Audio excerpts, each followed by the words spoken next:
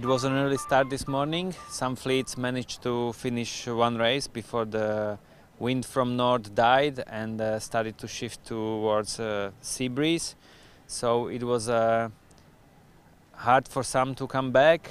Uh, and after a break, there was more racing uh, on the last day of uh, World Championship.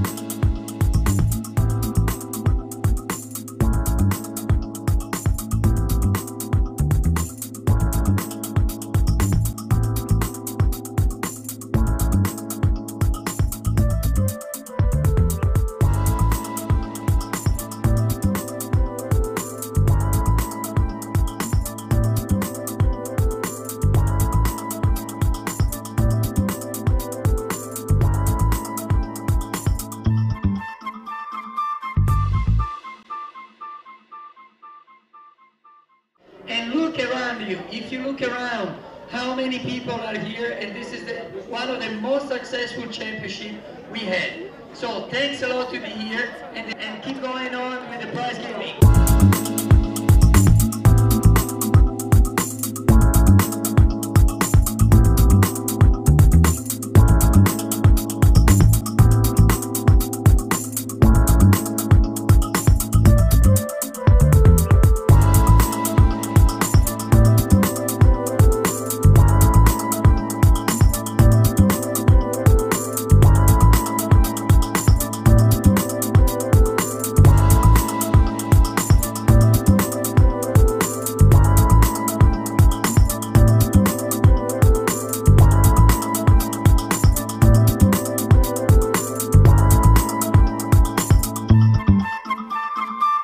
So was it worth to come here? Uh, was it fun?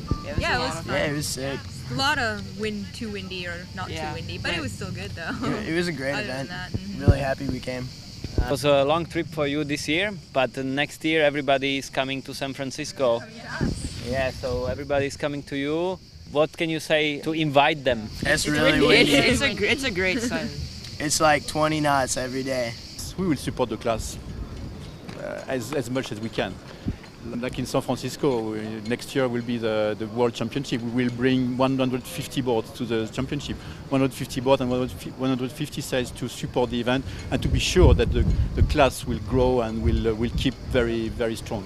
Many parents want to see their kids in the videos that we make. Many kids want to see themselves in the videos that we make. But it's impossible to include all 430 people that are competing here.